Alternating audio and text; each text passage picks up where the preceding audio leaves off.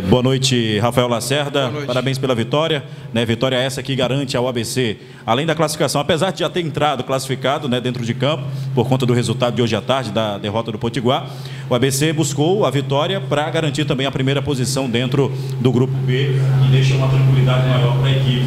Mas o ABC hoje a gente observou que não foi uma das melhores partidas. Obviamente que a gente entende que o ABC veio bastante modificado para esse, esse jogo, né, diante da equipe do Baraunas. Queria que você fizesse uma análise né, de, de, de sua avaliação de como foi essa apresentação do ABC no jogo de hoje e essa vitória de 1 a 0. Boa noite. Antes de responder a tua pergunta, eu queria é, dedicar essa vitória para o meu afilhado, que nasceu lá em Caxias do Sul, Henrico, né, filho do, do, do Eduardo e da Rafaela.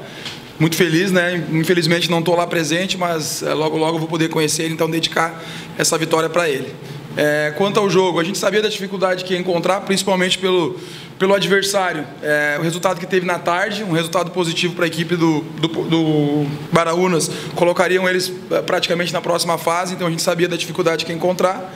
É, a nossa equipe bastante modificada por uma necessidade. É, como eu já falei várias vezes aqui, nós temos um elenco curto, eu preciso descansar alguns atletas, nenhum atleta reclamou de cansaço ou de desgaste, mas eu preciso fazer isso, até porque na, no final de semana tem a Copa Nordeste, um jogo extremamente difícil contra a equipe do Maranhão, então a gente optou né, pelas mudanças. É, concordo, não fizemos um bom jogo em termos de ofensiva, né, vamos dizer assim, a gente não conseguiu finalizar tanto no gol adversário. Tivemos volume mais na parte defensiva, a nossa defesa achei uma defesa muito sólida no jogo, meio de campo no primeiro tempo, muitos passes errados, não gostei. Falei para os atletas no intervalo, às vezes, aí quando o treinador muda antes do intervalo, é, a maioria do pessoal não gosta, mas a minha vontade era ter mudado antes do intervalo. Né? Não vou falar individualmente, mas é, três, quatro atletas muito abaixo do, do, nível normal deles, é muito erro. Todas as transições que a gente tomou da equipe, do, da equipe adversária foram por erros nossos. Né? Então, assim, quando a gente erra muito passe, quando a gente conduz muito a bola, quando a gente prende muito a bola, a gente proporciona o quê? Proporciona o erro e, consequentemente, a transição do adversário. Mas dentro de uma projeção que a gente precisava, né? rodar esse elenco, dar oportunidade também para os meninos que estavam é, treinando muito bem, é, o importante é a vitória. Eu digo para os atletas, nós estamos aí no início de uma temporada, é, precisa oportunizar mais os atletas, preciso rodar esse elenco.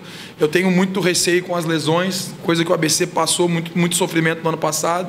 Então, o que valeu hoje foi a vitória, valeu também por algumas atuações individuais de alguns atletas, e posso citar aqui o caso do Gustavo, que na minha avaliação foi o melhor atleta em campo hoje, um atleta da base, de 18 anos, fez um jogo muito sólido. Mas volto a dizer, o mais importante que fica hoje foi a vitória e os três pontos. Professor, é, em relação. Eu até conversava com, entrevistava o Samuel e perguntei se ele já tinha ganho né, a titularidade, porque não é, não é fácil né, deixar o Diego Jardel é, no banco. Então é uma briga boa e saudável, né? Essa, essa, esse posicionamento. É, mas o Samuel não ganhou a vaga ainda. Né? É, hoje no jogo, muitos erros de passe dos jogadores de meio campo. O, não posso afirmar ainda que tem jogador titular na nossa equipe. O Jardel hoje não saiu jogando porque ele teve uma. No último jogo ele, bate, ele teve uma pancada na, acima do joelho, senão o Jardel iniciaria hoje o jogo. Eu disse para os atletas, a, a disputa a disputa está aberta em todos os setores. Claro que a gente tem aí seis, sete jogadores que já estão que hoje eu posso considerar titulares, mas tem outros casos aí que a briga está aberta. É uma pena que o Jardel não pôde jogar hoje.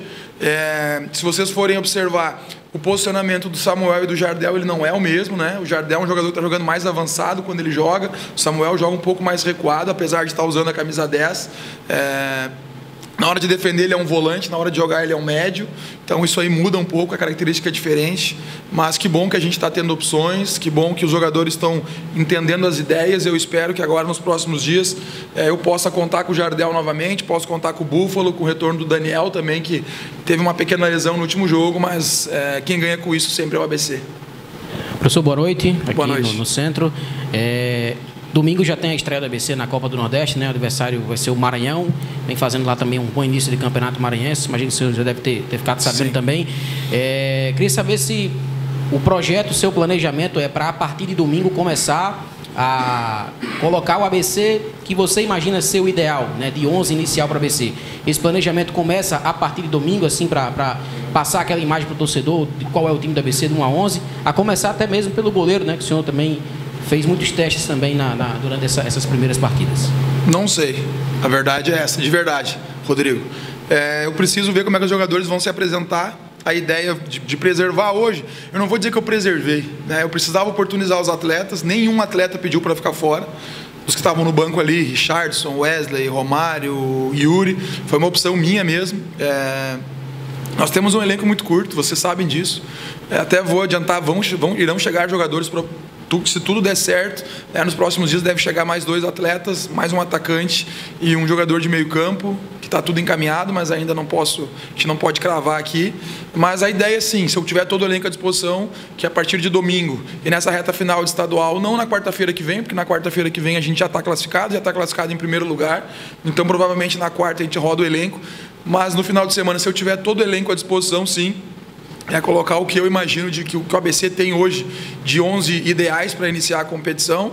E com certeza, nesse, nessa Copa Nordeste, na reta, principalmente semifinal e final, vocês vão ver é, o que eu fiz de todo esse, todo esse, esse período. Eu não, eu não digo como teste, né? Eu digo assim, eu estou oportunizando todos os atletas a, a, estarem em campo. Mas eu sempre falei para vocês que eu não sou o treinador que vou rodar o elenco o ano inteiro. Eu nunca tinha feito isso. É a primeira vez aqui que a gente roda o elenco, muito em função do que aconteceu ano passado das lesões, muito em função do elenco ser muito curto. Então a ideia a partir de domingo é, né, se eu tiver todos os jogadores à disposição, é, colocar a cara do ABC, esse time que eu considero titular. Mas assim, é, deixando sempre a disputa aberta entre eles, mas a gente precisa sim né, definir os 11. Mas hoje na minha cabeça eu já tenho os 11 definidos. Professor Rafael aqui, do seu lado aqui.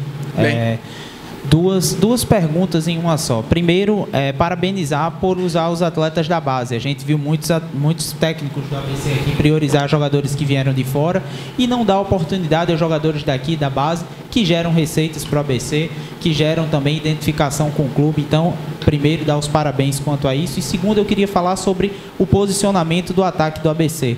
O Juan jogou normalmente onde ele sempre joga, que é pela ponta. Mas o, o Alisson é, que tem mais característica e corpo de centroavante, o senhor preferiu, optou ele pelo lado esquerdo e o Léo, que acabou sendo premiado com gol de cabeça e jogada Sim. do Alisson, que não era o óbvio, acabou jogando de centroavante. É, esse posicionamento foi em virtude do Alisson não gostar de jogar na centroavância ou foi a opção mesmo do senhor? Não, opção minha. É, em relação ao Alisson, quando a gente iniciou, pra, não, primeiro dos, dos, meninos, né? Acho que é a minha função, assim, mas eu não estou colocando os meninos porque quero agradar A ou B, agradar. Não, eu coloco os meninos porque eles mostram no dia a dia né, que eles merecem a oportunidade. O Gustavo, vou confessar para vocês, quando a gente chegou aqui, o Gustavo não chamou atenção. O Gustavo quase desceu para a base. E a gente começou, manteve ele ali, ele começou a evoluir, e a evolução, na minha opinião, foi absurda. Né? E hoje faz, um, faz um, um, um jogo como ele fez hoje, de alto nível. Ah, mas o adversário futebol está muito igual. Então, assim, claro que é o início, é o primeiro jogo titular dele, é um menino de 18 anos, mas, assim, um baita profissional. Espero que ele mantenha a cabeça no lugar, não só ele, né? Todos os outros meninos estão dando oportunidade. E quando eles mostrarem, eu para mim, se tiver 18, 17, 38, 35, eu vou colocar para jogar. Quanto ao posicionamento, o porquê do guerra por dentro? Para manter o mesmo estilo que a gente vinha jogando com o Daniel. Porque a gente, a gente entende que muitas vezes os times vêm fechados e a gente precisa de movimentação na frente. Com o Daniel, a gente usa muito a questão de ataque ao espaço. Né? O Daniel é um centroavante móvel que fica atacando o espaço entre aonde? Entre zagueiro e lateral. O Alisson não tem essa, essa característica de atacar espaço, né? Então a gente optou em manter o Guerra ali para não mudar muito a estrutura. É, volto a dizer, eu, eu, não gosto de ficar mudando a equipe. Eu estou mudando a equipe do ABC e as pessoas precisam entender por necessidade e também para oportunizar os atletas que estão muito bem nos treinamentos. Mas assim, a gente, quando a gente montou o time para esse jogo, a gente pensou, bota o Alisson de 9, bota o Guerra para o lado, tá tudo certo. Mas aí a gente ia mudar em duas funções, porque o Alisson ia mudar e o Guerra ia mudar. Então a gente mantém Guerra e o Alisson aonde eles vêm, desculpa, a gente mantém Juan e o Alisson onde eles vêm jogando, e são os dois titulares da equipe, e eu trago o Guerra com uma característica não de tanta força como tem o Daniel, mas de mesma mobilidade que tem de ataque ao espaço, né? Essa questão de, de, de, de do nosso ataque, ela, a gente tem poucas opções. É por isso que está Tomara que dê tudo certo, chegue mais um atacante. Hoje não era jogo para o Juan jogar a quantidade de tempo que jogou. O Juan é um jogador de força, né? Então, assim, mas com certeza com a chegada de outros jogadores a gente vai ter mais oportunidade. No segundo tempo, não sei se vocês perceberam, a gente fez uma variação, a gente mudou ali, a gente fez uma linha, a gente fez uma saída de três com o Gustavo como terceiro zagueiro. O Samuel, que vinha jogando de volante pela direita, ele foi para a ala esquerda, que é uma função que ele jogou muito no Fortaleza. Botei dois volantes lado a lado e, e fiz o Alisson jogar como meia. Por que o Alisson como meia? Porque o Alisson tem muita qualidade de finalização. Então eu preciso que o Alisson fique o mais perto possível da área. É, quando eu cheguei aqui, muitas reclamações. Ah, o Alisson busca muito a bola no pé do volante comigo, ele não está buscando. Às vezes ele vai buscar, eu não posso uh, tirar isso dele, ele gosta de ter a bola. Mas se vocês perceberem o posicionamento do Alisson, hoje está cada vez mais perto do gol. Se eu não me engano, a assistência do gol foi, foi do Alisson, né? Então, assim, próximo do gol, é, e eu, eu, eu, costumo. Esse dia eu falei para ele, falei, o Alisson, tu gosta de tocar na bola. Se vocês vão lembrar contra o Força e Luz, o Alisson ficou quase como um terceiro homem de meio campo. Só que no treinamento da semana aqui, o aproveitamento do Alisson foi absurdo de finalização. Eu não vou obrigar o atleta a fazer o movimento. Né? Eu fui e mostrei para ele, o Alisson. Tu viu quem teve melhor aproveitamento? E ele, não, foi o teu. Tava lá o Parraguês, tava o Juan, tava o Daniel, e o melhor foi do Alisson. Eu falei, e aí, tu quer ficar onde? Eu não preciso, não, não tem que ser só o Lacerda que determina as coisas. Eu tenho que deixar eles, eles também tomar as decisões. E é simples, o Alisson, tu, uma hora, tu finalizou 12 bolas, fez 9 gols. Tu quer jogar onde? Perto ou longe do gol? É, então, assim, é bom que tem atleta. E é bom trabalhar com atleta inteligente, né? E o Alisson cada vez mais está pedindo o que eu, o que eu, o que eu, o que eu, o que eu estou pedindo para ele estar tá fazendo. Estou muito feliz com isso. Rafael aqui, é, o ABC entra em campo hoje, né, já com o resultado da tarde, classificado para a semifinal. Queria saber se isso tirou um pouco um peso até de você colocar, mudar bastante a equipe, claro, já pensando no jogo do domingo. E outra, utilização da base. Você acaba o jogo usando seis jogadores é, oriundos né, da base do clube. Vai ser cada vez mais uma tendência no campeonato estadual, começando Copa do Nordeste e Copa do Brasil também, utilizar cada vez mais esses garotos que estão entrando e correspondendo? Bom, sobre o jogo, essa, essa decisão de eu mudar o time não foi em função da gente entrar classificado. Porque a gente treinou ontem, né? Questão tática, bola parada, e já treinou esse time. E eu gosto desse desafio, né? Porque ontem eu falei para os atletas, a gente não estava classificado, nós, nós precisava de um ponto para classificar. Então, assim, eu preciso confiar no meu grupo. Então, ontem, quando a gente montou a parte tática, eu já montei esse time. Não é porque nós já entrávamos classificados. Então a minha decisão foi porque eu confio nos atletas. Né? Sobre a questão da base, a questão da base não é. É como eu disse, eu não estou aqui para não tô aqui para agradar, eu costumo dizer para os atletas, não estou aqui para fazer amizade. Se eu fizer amigos aqui no ABC, maravilha. E eu sou um cara muito sociável. Então, acredito que vou fazer grandes amigos aqui. Mas eu vim aqui para trabalhar e entregar resultado. Né? Eu tenho uma família para sustentar, então eu não estou aqui para brincadeira. E se os meninos, eles, se eles me mostrarem que eles merecem jogar, eu vou colocar. E independente de jogar Copa do Brasil, ou Copa do Nordeste, ou estadual, só que eles têm que me mostrar por onde. Não posso colocar simplesmente, ah, vou oportunizar 18 anos, vou colocar porque quando eu cheguei no ABC eu falei que eu ia usar a base, porque eu falei né, que eu ia utilizar, mas eu falei porque eu vi, né? Eu falei porque eu presenciei treinamentos, vi os jogadores treinando lá na base, caso do Oziel, que quando eu cheguei estava na base e a gente puxou ele. Então, assim, se eles corresponderem, a gente vai cada vez mais oportunizar eles com os jogos.